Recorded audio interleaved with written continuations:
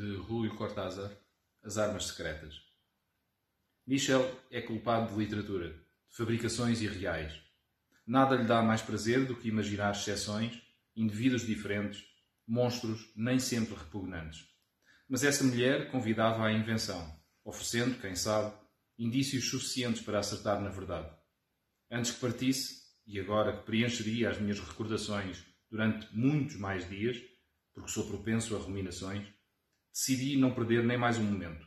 Meti tudo no óculo, com a árvore, o parapeito, o sol das onze, e tirei a fotografia.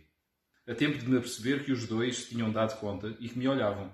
O miúdo surpreendido e como que confuso, mas ela irritada, resolutamente hostis, o seu corpo e o seu rosto que se sabiam roubados, ignominiosamente presos numa pequena imagem química.